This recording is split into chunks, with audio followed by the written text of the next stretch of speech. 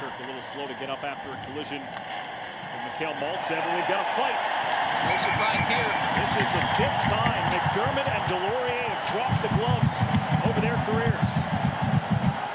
MacDermid only his second shift, and he finds his old dancing partner, Nicolas Deslauriers. Yeah, MacDermid, Oh, 6'5", 223 pounds. This is the heavyweight matchup.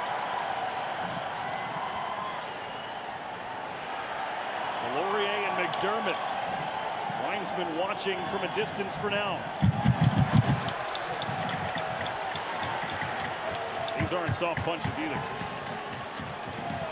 Couple of big rights there from Deslauriers. Oh, buckets off right there. They're not done yet. No, pushing the linesman aside. He wants to continue on here. Oh, here goes the elbow pad on MacDermid. To get inside. Just a wild roundhouse.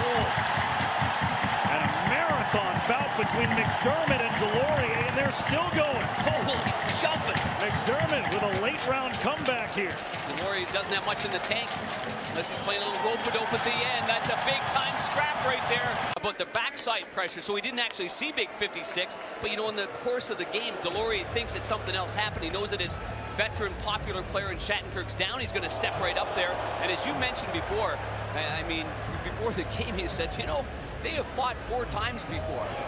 This is now the fifth time that they've gone head-to-head with MacDermid, the decided edge, and